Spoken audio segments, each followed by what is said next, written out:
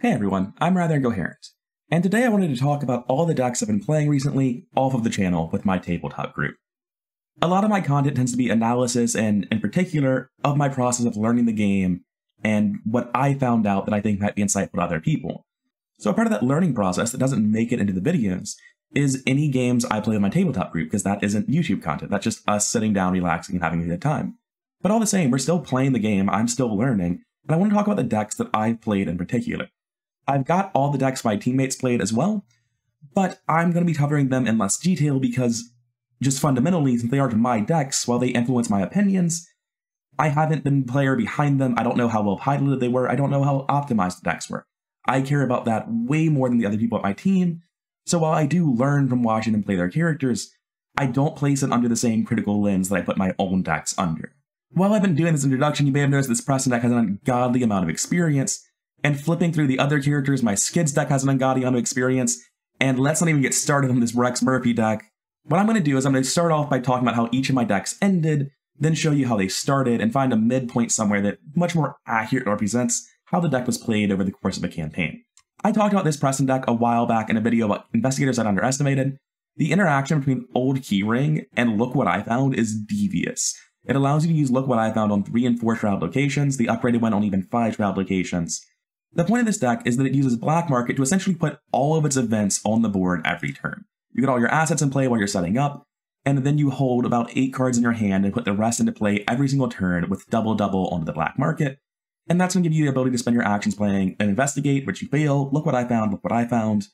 Then you're able to play your intel reports as well, and your call for backups. And if you want it, you can use your ace in the hole, you can give it to somebody else.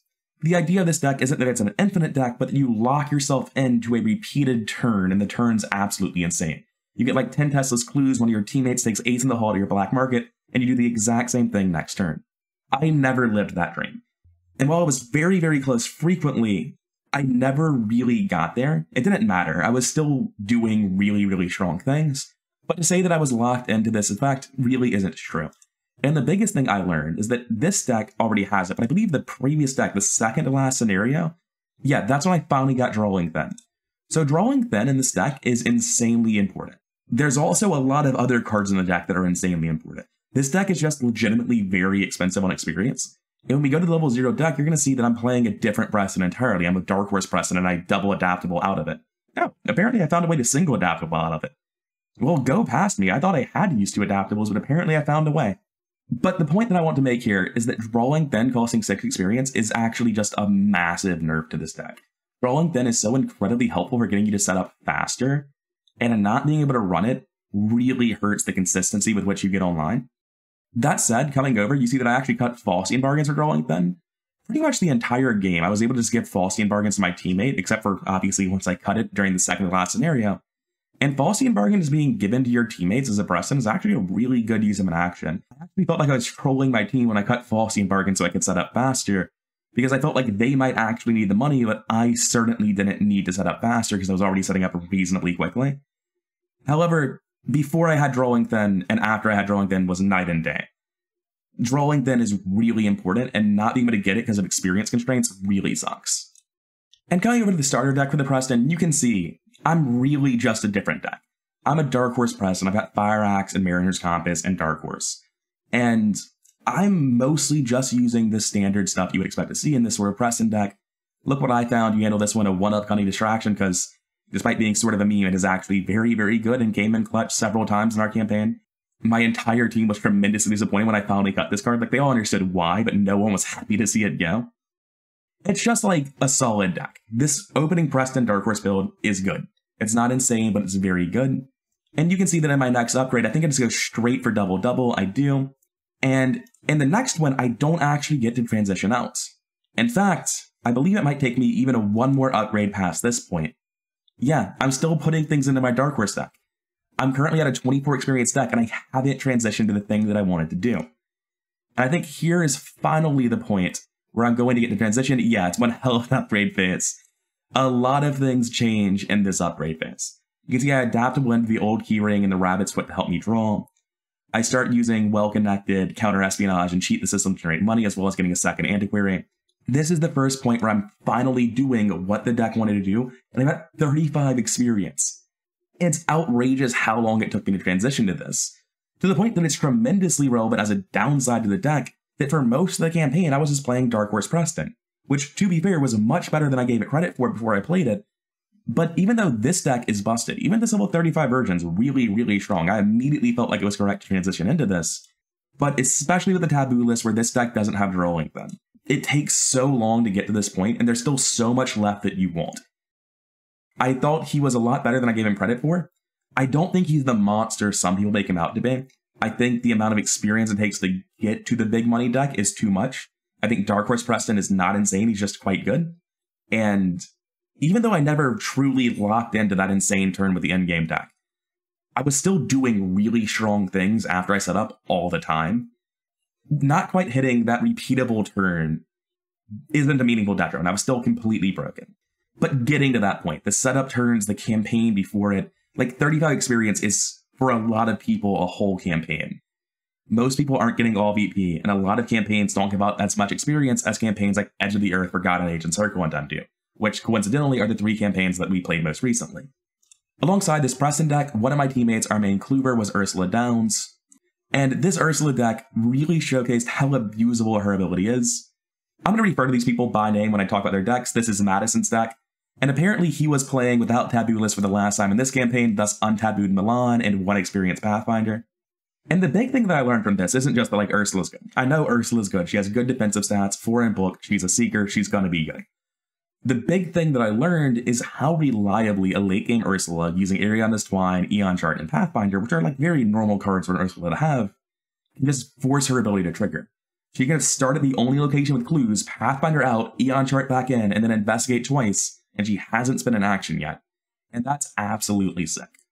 Also, because of, in large part, me being Preston and funneling him money all campaign with Bargain, but also, just as much, because of Untabooed Milan, he never cut connect the dots. He's very happy about this because it was a pet card for him, and all of his light sync connect the dots get any play because it's absolutely sick when it goes off. But that requires you to have four resources and set it up, and that's just a whole hassle.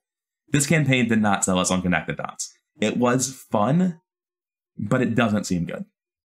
Going into Edge of the Earth, we had this whole big debate about whether or not which of us would be playing a sled dog deck. Madison wanted to play sled dog Leo, I wanted to play sled dog Yorick, and Andrew, our third player who ended up playing sled dog Yorick, was really confused when both of us didn't pick sled dog decks, and he was like, all right, Nick, just give me your sled dog deck, I'll play that. This is pretty similar to how I would build my own sled dog Yorick, and sadly, it's not quite the juggernaut that I thought it was. It is gross. There were multiple scenarios where Ursula just got destroyed by unlucky Mythos cards, but didn't die because Solemn Vow on Yorick was just absorbing all the damage. There were at least the last three scenarios, I think more than that. Andrew repeatedly complained because he was like, guys, I I'm either doing nothing or I just killed them. I just sled dog them for three damage and they're dead. If they're not, I meat cleaver them. And if for some godforsaken reason they have more than seven health, I survival knife them. Nobody hits me, and if they did, the beat cops or the guard dogs would kill them. Why am I even here? Because he just legitimately felt like if he was fighting, he was going to kill people. He had no chance of failing. And that is basically true. The fully set up Yorick deck is real, real strong. However, 23 assets. This is basically a deck that is assets and economy. My version of the deck actually had even more economy than this. I was running stand togethers, and I might have even been running leadership twos. But again, I was there with Faustian Bargain, and Ursa was there with Crack the Case, so he didn't need to run it himself. He could funnel the money into him. The Yorick deck is something I still really, really enjoy. I think Yorick is incredibly powerful, but the setup time they can have is a little bit rough. He's still very, very strong, but he's not quite as good as I imagined him to be. The next campaign we played was the Circle Undone, the Return to Circle Undone. That was our first time to the Return to setup. And I played a main fighter as Skids. In the previous campaign, we had talked a lot about feeling like we should either up the difficulty or play jankier characters, because by the end of Edge of the Earth, it was an unmitigated steamroll. It was the hardest we've beaten scenarios up to that point. It's gonna get worse in a little bit. You saw the Rex deck. But as a consequence of how well we did in Edge of the Earth, we were going to pick worse characters in Circle Undone because we would enjoy playing jankier characters more than we would enjoy turning up the difficulties how we all felt. I picked main fighter Skids. My beginnings in Arkham Horror were Skids O'Toole, followed by like three other rogues as I desperately tried to make the class work. And now, with a full card pool, I came back and I gave Skids my best shot, and this is what I came up with. I adamantly believe that the best way to build Skids is just with all of the passive fist bumps and melee weapons. Survival knives, switchblades, bandoliers, beat cops, ace of swords, Geass. You can use a big gun. You can use two actions on a Chicago typewriter, or you can use a um, Beretta and get plus four on your swing and already be at seven. Or you can get plus two default from these, more from beat cops, more from ace of swords, more from Geass, and be swinging at nine by like turn four or five. I personally think that this is a better setup than using things like swift reload with big guns. It's debatable though. The main reason I like this more is that you're able to upgrade into it in chunks and just linearly get as much power as you can as fast as you can. You don't ever need to save or something.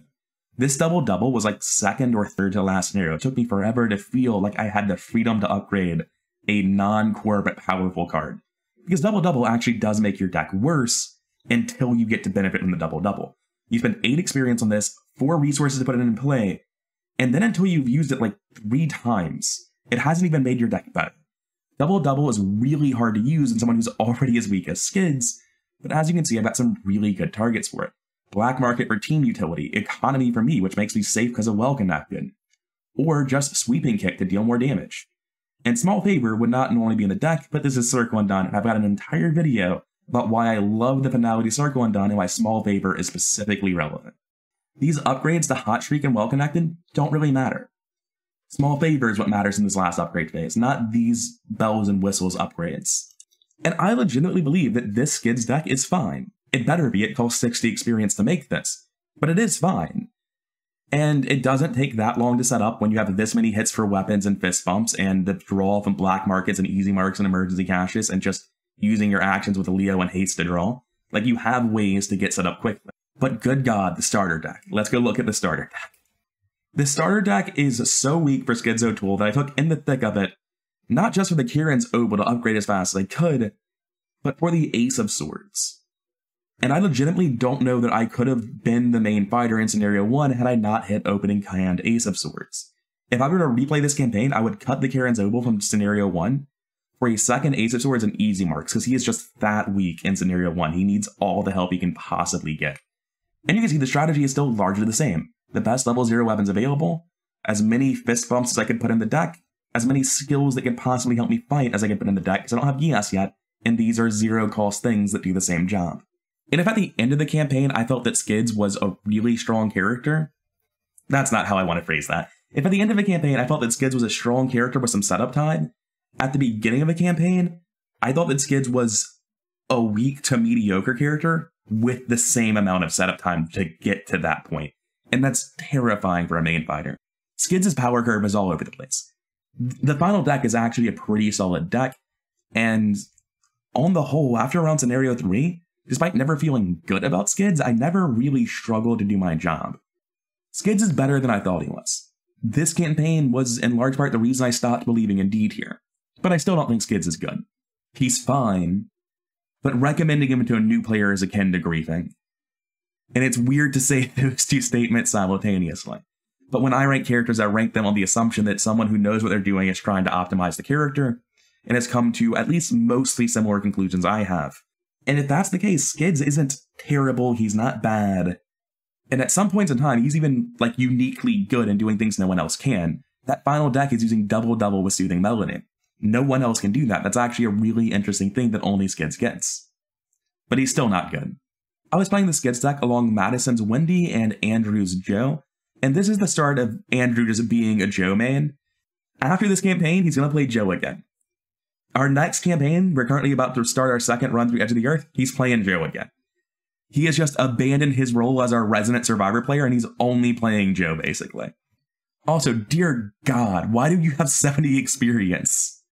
I figured it out, I grabbed his Joe deck from Forgotten Age and not his Joe deck from Circle Undone. This is the right Joe deck. This is the one that he played his first time through as Joe. I think this is sort of iconic of what I think of when I think of Joe as a mediocre character. When I think of putting Joe high in C tier, this is largely the deck I imagine. one with a lot of assets that cost a lot of money, where he's trying to investigate and fight using those stats normally, and it just doesn't quite line up well. That said, having watched it in action now, I think saying it's high C tier is comically wrong. It's very high in B, even built like this. Michael Lay is just very strong. Having access to Segment of Onyx, Hallowed Mirror, and he isn't running it here, but Occult Lexicon is very, very strong. He has insane cards in his skill slot. Coming over to his next Joe deck, or his level 0 Joe decks rather, when he starts using practice to make perfect setups, Joe starts looking like legitimately strong as a true flex character in a way that's like much more impressive than I originally gave him credit for. That said, a hallmark of Andrew's Joe decks has been two head, two foot, and every campaign he says, man, this campaign really sucks for Joe. And then me and Madison are like, I think every campaign sucks for Joe. What campaign has Mythos decks that don't punish you for having both defensive stats be trash? And I think our next campaign is going to be the first campaign where Andrew's like actually trying to fix the defensive problems that Joe has, as opposed to just losing his entire board to Vice and Villainy more than once. That happened at least twice in Circle Undone. Madison's Wendy deck is just actually gross. Um, this deck can be accurately summarized as I play Backstab and Pilfer forever. We did eventually get to the silly, silly thing that Wendy can do where um, you can play Black Market a literally unlimited number of times because when you play it, it goes under your own deck. And then you play the second Black Market and it reveals your deck, revealing the other Black Market. So you play the other Black Market for your Black Market and four cards from other people's boards until you put every single card in every single deck in play. It's not actually that good. There's no real reason to do it, but it's very funny. The thing this deck does that's really good, though, is just having incredibly high defensive stats, then get turned into proactive stats with these events. Wendy was easily the strongest character in this campaign and basically our hard carry for almost the entire campaign. Alright, let's talk about Rex. I don't know if I'm on record as saying this on my channel yet. I've definitely said it with my tabletop group. I legitimately find the game less interesting and less fun when I'm playing stronger characters. I think I've definitely alluded to this in my video about Before the Black Throne, but if a character is too strong, it makes the game less fun. Anytime someone says Rex at all in our tabletop Discord, I just instantly reply, fuck Rex, hit enter, and then start typing out my actual response to what they're saying. It's because of this campaign.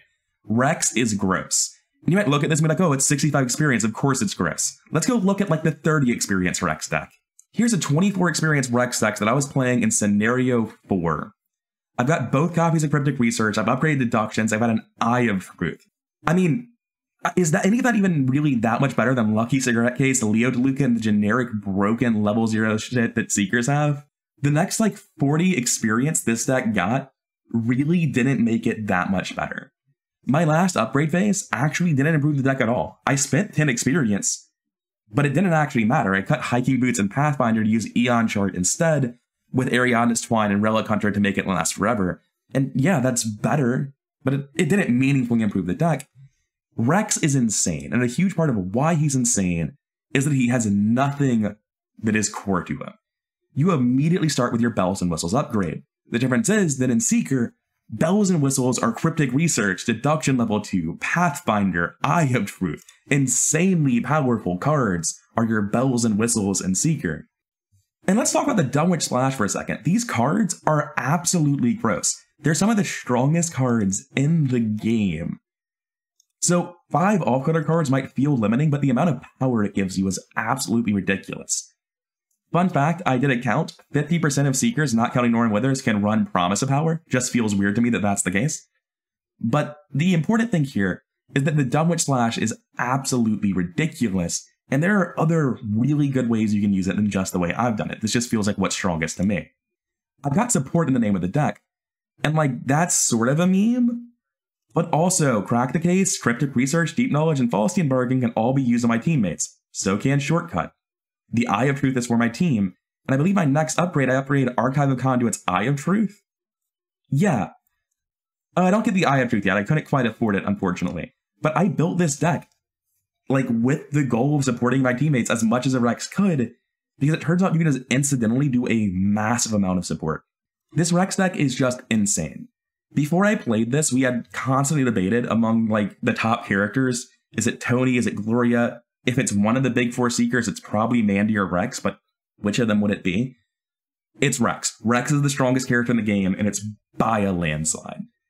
These five flex cards are a not insubstantial part of that. His ability is a huge part, and the hidden thing that's broken about him, you don't have to get Mr. Rooks to find your cards. You don't have to upgrade anything to do your job. There are no cards that you're pressured into upgrading because Rex wants them more. With Rex, you just upgrade the strongest cards immediately. That's cryptic research and deduction, by the way. But in Mandy, you've got to get your Mr. Rooks. In Harvey, you've got to get your Farsights. And Amanda, like five or six cards. It's a lot more than any of these other big four seekers. But in Rex, Rex doesn't need anything at all. And I mean that. Look at this level zero deck. It's just done. I took In the Thick of It for Pathfinder because I don't need nine Horror Soak. Normally I would take Charisma over the Pathfinder because I do want these allies in play quite badly. But this was specifically a campaign, I haven't gotten into this yet, where I picked Rex for a very specific reason. We wanted to know if Rex really was as broken as we thought he was, because after the first time we played him in Dunwich, we just never touched him again. We were like, oh, that's so strong it makes the game less fun. So for this game, we said Rex is the only Kluber. We're going into Forgotten Age. No one else is even playing Flex. Rex is the only person getting clues. We're going to see if he's really as strong as we think he is. And everyone else is going to play jank, weird fighters. And since there's two fighters, that'll still be fine. And we'll get to test our like pet project fighters. And everyone really liked that idea. And that's the reason that I picked Pathfinder with my In the Thick of It instead of Charisma. As the only Kluber going into Forgotten Age, I felt like I couldn't afford to spend actions on movement Going to my teammates, Madison was playing a Diana that's just built as Pure Fighter Diana. And Pure Fighter Diana isn't really that janky of a thing to do. However, he mostly picked Pure Fighter Diana because I've been just constantly talking about how I'm not convinced Diana's actually that good for a while now. I'll admit, I've been convinced Diana's a little bit better than I've been giving her credit for, but man, the top half of the tier list in Arkham Horror is so incredibly strong that even Diana being like great doesn't put her that high on the tier list. And I still think that she's largely just worse than Agnes. You're going through a lot of hoops here to duplicate some words of protection to get six head.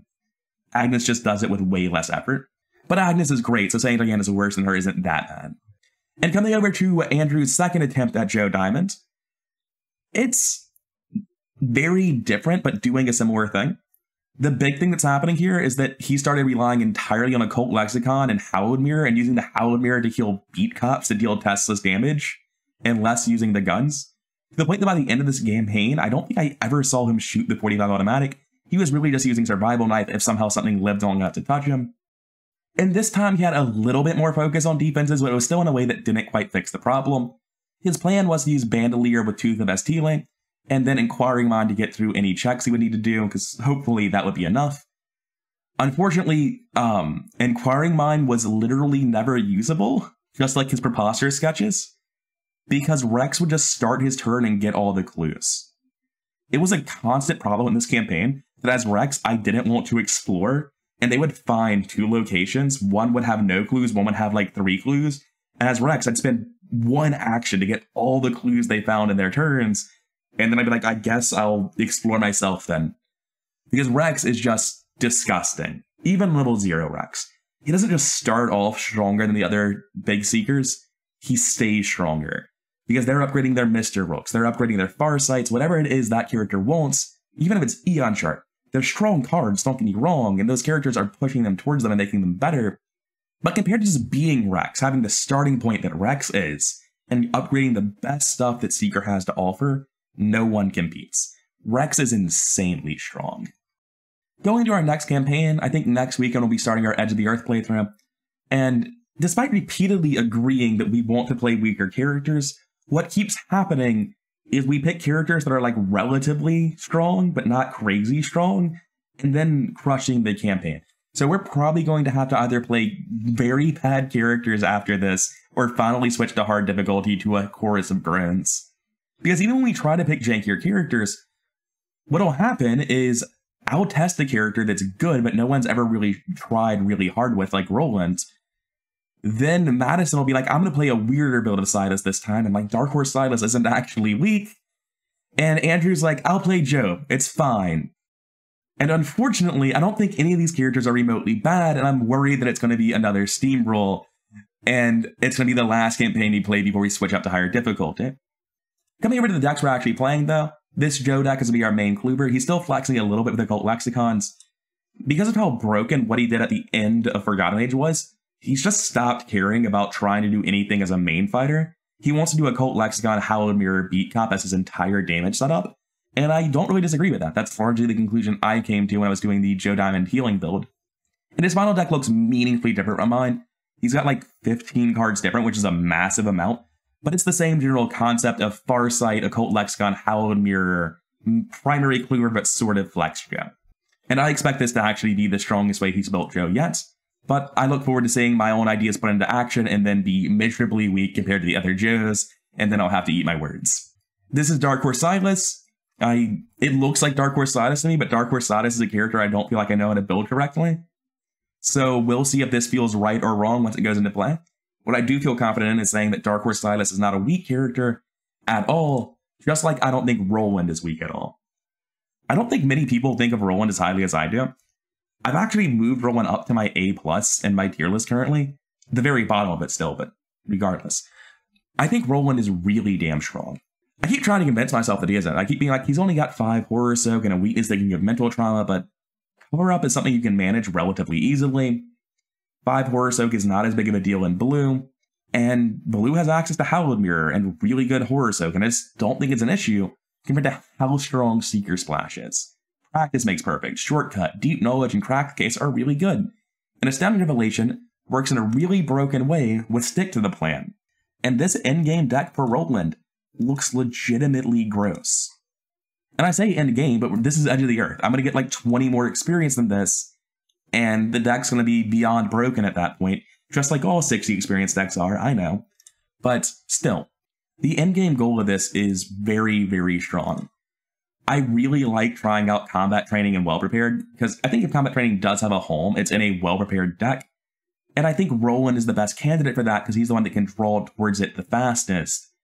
And if you're playing well prepared, you want to be drawing quickly to set up whatever well prepared combo you're using. In this deck, I can well prepared literally anything other than two book. I can get two fists, two foot, or two head relatively easily. Originally, I wanted to run Greta as well, so I could have four book and then six with my well prepared and all fine clues and get more clues by killing people, but I just don't think it's worth the experience. It's the sort of thing I would do in a 55 or 60 experience deck and not the sort of thing I would actually plan for. But I just legitimately think that this Roland deck is a really, really strong deck.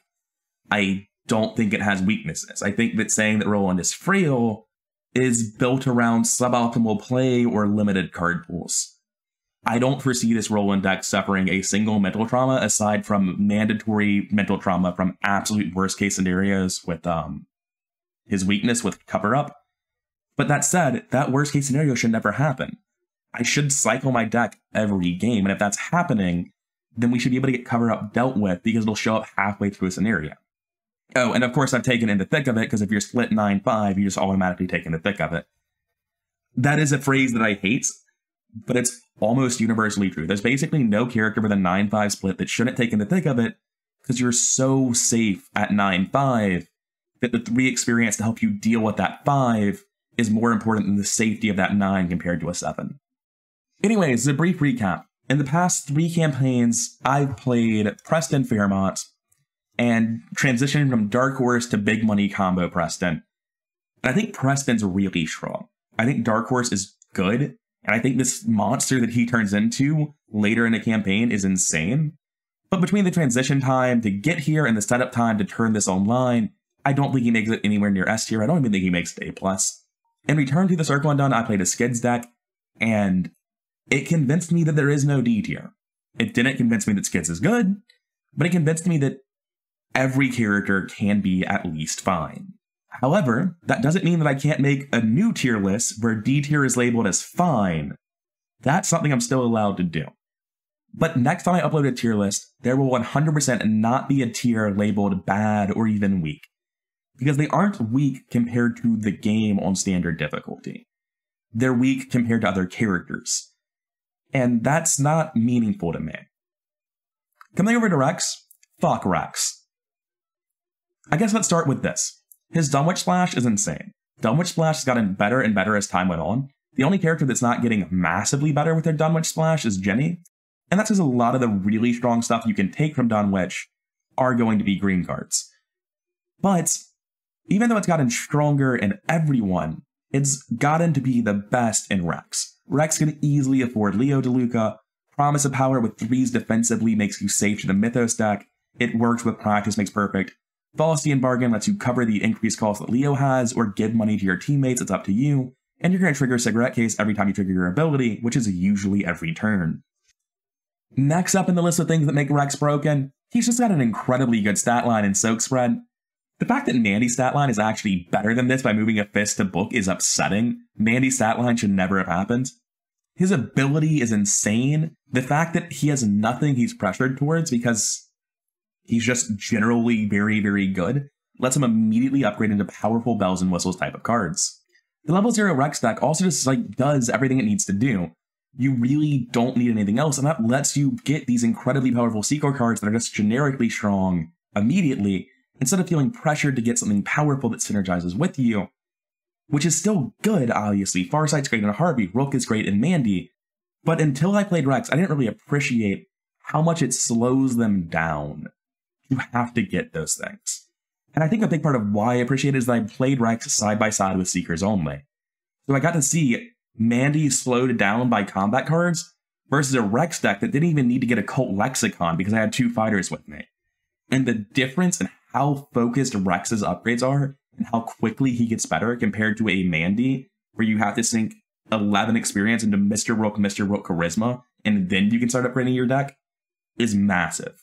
Mandy's first 12 experience are Mr. Rook, Mr. Rook Charisma, Pendant of the Queen. And you, you can debate that. That's not an absolute fact. But the point is that she has some very good 12 experience there. And for Rex, that's two cryptic researches and upgraded deductions. Rex just gets to come online so much faster than Mandy. And it shows in how quickly they power spike. This 24 experience deck I was talking about, either I went into or came out of Threads of Fate with this deck, I don't quite remember, probably came out of.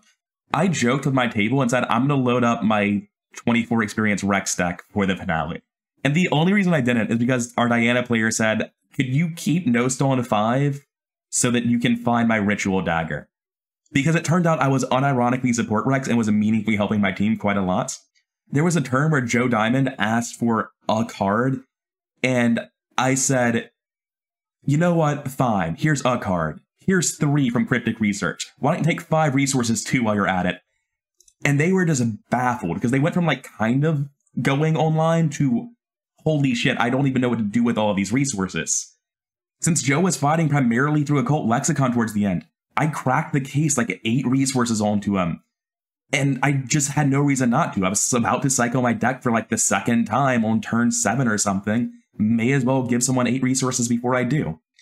I've been rambling for a little while, so I'm going to cut my comments on Rex now, but I do want to mention one more thing. Janae is absolutely nuts. She's an incredibly powerful card, and when you combine her with something like Hiking Boots or Pathfinder, so that she can just consistently go off and then in turn consistently trigger your hiking boots, it's absolutely insane. Most Seekers have three or more foot, and the combo of Janae hiking boots gets you to five. You can evade things at that point for your team. You can pass foot checks defensively. It doesn't cost that much experience realistically. It's just really, really strong. I did not realize how powerful Janae would be. And Rex needs her even less than most people because Rex can just get all the clues himself. But there were several times where instead of clearing out victory locations, I just walked past them a couple of times using Pathfinder and Janae to move those clues out while I got other locations. The only time this really got to shine was during City of Archives because I wasn't able to use Rex's ability during that scenario, but it's just an incredibly strong combo of cards. I honestly have a hard time imagining a deck where Janae isn't good, and this point in the deck is actually a really good showcase of what I say when there is an opportunity cost for other seekers upgrading those cards that make them specifically better. There is no card in this deck that is a core card. I spent 42 experience on incredibly powerful cards. My weakest upgrades are Magnifying Glass level 0, which just give me two resources for free after my first deck cycle. That's not nothing.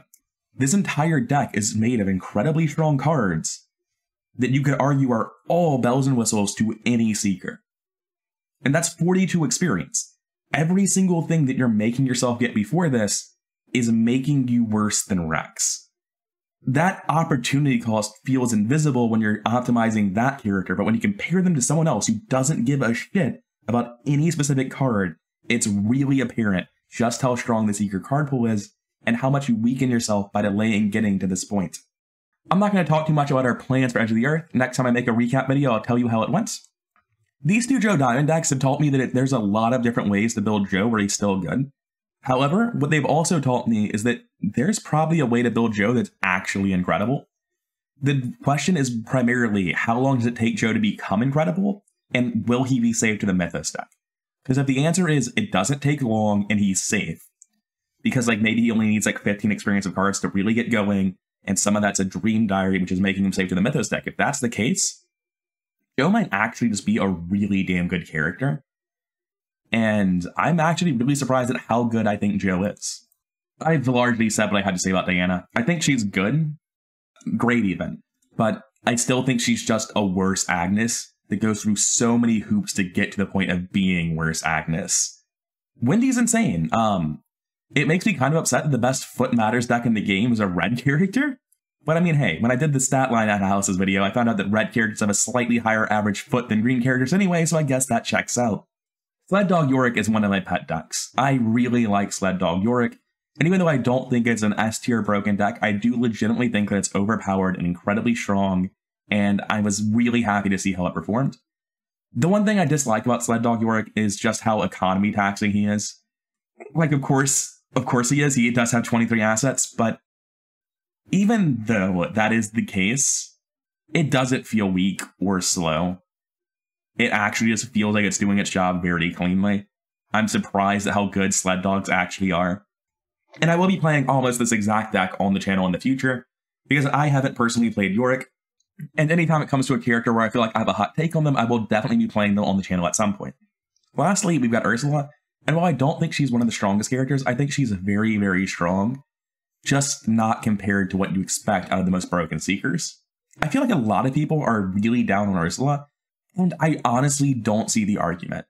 Her book is the same as Rex. Her stat line is actually just objectively better than Rex's, missing out on the 5 slash that Rex gets compared to what she's getting does not feel good. Because basically what she's getting is Charon's Obol and nothing else. Now don't get me wrong, 14 free experience over the course of a campaign is really good, especially in Seeker, but compared to Promise of Power and Leo DeLuca, it's nothing. But the point is that her stat line is better than Rex's. Her card pool isn't that different than Rex's. Her ability isn't that different than Rex's. I've heard people say that her ability is hard to trigger because she only has four book. That's nonsense. She's a Seeker she has all the book bumps in the world. If you think her ability is hard to trigger, then by consequence, you must also think Rex's is hard to trigger. And her ability is admittedly harder to trigger than Rex's, because you only get one attempt per turn at it, but it's still not hard to trigger at all. Ursula is just really, really good. I don't agree that she's even one of the three best Seekers, but according to my tier list, being the worst Seeker in the game is still pretty good, and she's nowhere near the worst either. Anyways, that's it for me. I just wanted to quickly talk about all the decks I've been playing off the channel.